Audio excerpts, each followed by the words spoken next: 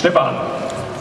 Stefan Kuhn leitet Lokales und Regionales, die mit Abstand größte Redaktion im Haus.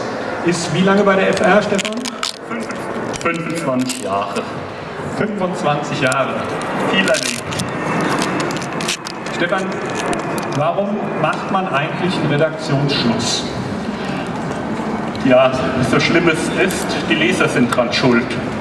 Wir brauchen Redaktionsschluss, damit die Leser am anderen Morgen ihre Zeitung im Briefkasten finden. Und damit sind wir nämlich schon bei einer Sache, wenn Sie sich manchmal fragen, warum Dinge nicht in der Zeitung stehen, die vielleicht abends spät noch im Fernsehen gekommen sind. Der Grund ist, wenn sie in der Zeitung stünden, wäre die Zeitung nicht bei Ihnen. Der Redaktionsschluss, den wir machen, das heißt der Punkt, an dem wir nichts mehr in der Zeitung verändern dürfen und die Zeitung in den Druck geht, richtet sich nämlich nur danach, dass die Zeitung am nächsten Morgen bei Ihnen im Briefkasten liegt. Das wird wie berechnet? Es gibt ja noch nicht mal einen Redaktionsschluss. Wir haben ja, ich glaube, schätzungsweise sieben oder so, je nachdem, wie man es rechnet, den ganzen Tag über verteilt. Und berechnet wird das schlichtweg aus dem zurückberechnet, wann brauchen, wann müssen Leser ihre Zeitung im Briefkasten haben und wie lange braucht der Vertrieb, um die Zeitung dorthin zu bekommen und vorher die Druckerei, um die zu drucken. Und danach bleiben dann wir übrig, das wird bei denen sich errechnet, ja, jetzt müsst ihr aber Schluss machen, sonst macht ihr zwar eine tolle Zeitung, aber niemand liest sie mehr.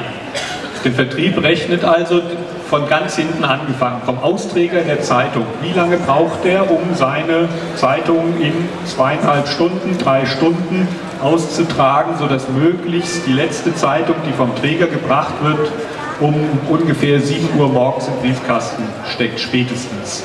Das heißt, wenn der Träger drei Stunden arbeitet, muss er um 4 Uhr anfangen, kurz nach 4 die Zeitung auszutragen.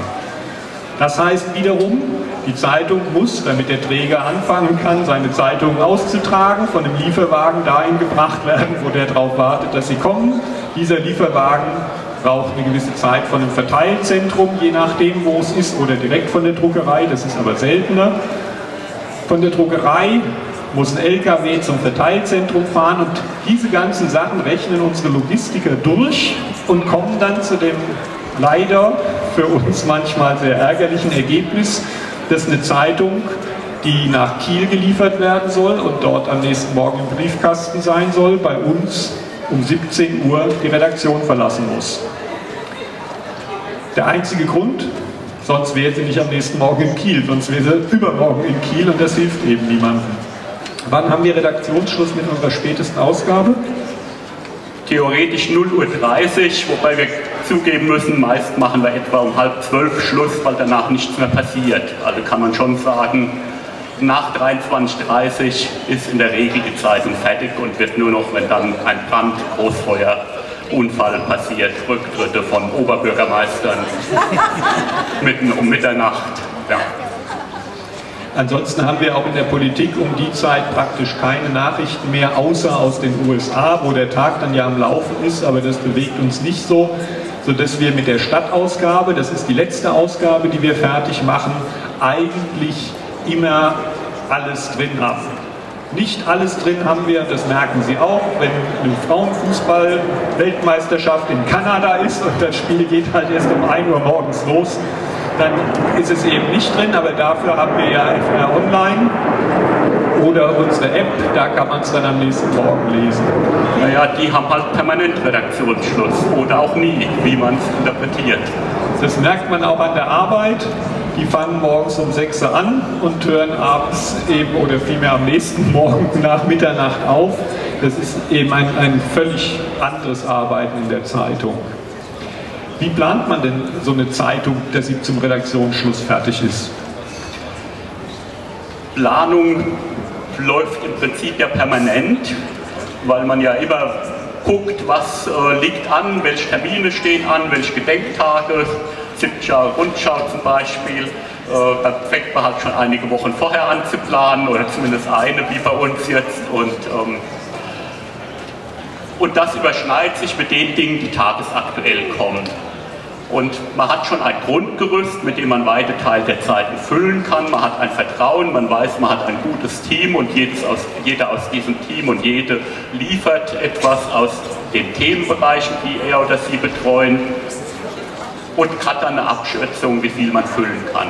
Und dann spricht man morgens in einer Redaktionskonferenz sich ab, macht einen wunderbaren Plan und weiß, eigentlich schon von vornherein, dieser Plan wird so nie Wirklichkeit, weil sich zwischen 10 Uhr morgens und dem Abend 18 Uhr fast alles ändert. Deswegen sind wir auch so gelassen, wenn bei unseren Leserfesten die Seebühne zu lange Beine hat oder sonst was nicht funktioniert, weil wir zwar sehr strukturiert durch den Tag gehen, aber weil man eben die Ereignisse nicht vorhersehen kann, eigentlich das ständige Improvisieren und Umplanen gewöhnt sind. Wobei ich immer meine, ein guter Plan ist die halbe Praxis, sofern man denn dann willens ist, äh, diesen Plan auch allen aktuellen Gegebenheiten anzupassen. Dieser Redaktionsschluss hat übrigens bei der Arbeit noch einen unglaublichen Vorteil, man muss fertig sein. Was man bis dahin nicht geschafft hat, schafft man auch nicht mehr. Deswegen hilft es auch nicht, wie die das sicher aus ihren Berufen zum Teil kennen, wo man dann einfach länger arbeiten muss, um fertig zu werden. Und dann wird halt mal wird es acht oder halb neun und man ruft an und heute Abend bin ich wieder nicht zu Hause. Das passiert bei einer Zeitung überhaupt nicht. Bei einer Zeitung muss halt fertig sein und gedruckt werden und danach ist man mit der Arbeit fertig. Es gibt eine Ausnahme, das war jetzt unsere Jubiläumsbeilage, die ging allerdings jetzt doch ein paar Abende bis elf. Aber ansonsten ist das einer der großen Vorteile. Man hat einen totalen Druck zum Teil, weil es eben fertig sein muss, aber man ist dann eben auch fertig. Ich glaube, das sehen manche Leute anders, weil man wird eigentlich in dem Beruf nie fertig. Weil es gibt ja immer noch was zu tun. Weil die Zeitung ist ja zwar einerseits aktualitätsgetrieben, man macht das, was heute an, anliegt und der Leser will es morgen lesen, die Leserin. Gleichzeitig allerdings ist eine Zeitung, die nur noch die aktuellen Nachrichten liefert, tatsächlich eine Zeitung, die niemand mehr braucht, weil man das alles schon im Fernsehen gesehen hat in, in der Tagesschau. Spannend wird es ja dadurch, dass wir eben auch Themen haben, die latent aktuell sind, die untergehen würden und die wir zum Thema machen. Und da wiederum, da wir die selber setzen, diese Themen, sind natürlich Journalisten, die an diesen Themen hängen, die mit denen die wichtig sind, auch in der Gefahr, quasi auch nach Feierabend noch darüber nachzudenken, noch mal irgendwo hinzugehen zu einem Termin, um noch was zu recherchieren, noch zu lesen und können eigentlich auch, wenn sie wollen und nicht aufpassen, rund um die Uhr arbeiten. Insofern war das von mir auch fürchterlich geschönt, weil wenn wir die Seiten fertig haben für die erste Ausgabe um 17 Uhr, dann machen wir noch so eine Art Vernissage, das werden Sie dann oben auch sehen im Konferenzraum, da werden die Seiten dann angehängt und nochmal geguckt, was man besser machen kann für spätere Ausgaben, was erneuert werden muss. Und dann ist es natürlich doch nicht so, wie ich das schön gesagt habe, dass alle einfach nach Hause gehen und fertig sind, sondern dann setzt man sich zusammen und überlegt, was kann man morgen schon machen, was kann man für morgen vorbereiten, muss man schon auf irgendwas achten, irgendwo Fotografen morgen hinschicken, all solche Sachen. Denn der die eine, die eine wirklich schwierige Sache im Journalismus ist ja, wenn man als Schreiber was verpasst, kann man immer noch mit jemandem reden, der dabei war und sich das erzählen lassen. Wenn man als Fotograf irgendwas verpasst, das Foto ist weg.